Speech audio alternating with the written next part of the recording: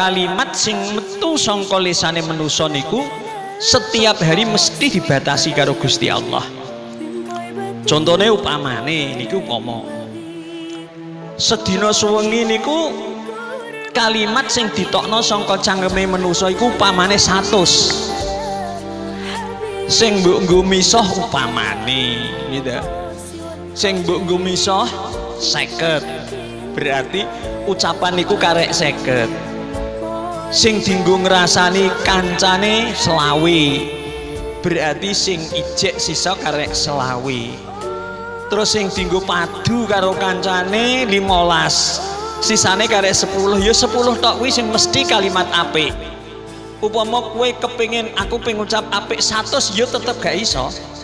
Mesti gak iso. Mergo kalimat niku setiap hari mesti dibatasi karo Gusti Allah. Dengan mulane jogo gitu Joko sampai-sampai kancing Nabi. Gitu nek kue gak iso ngomong sing apik luwe apik kue meneng.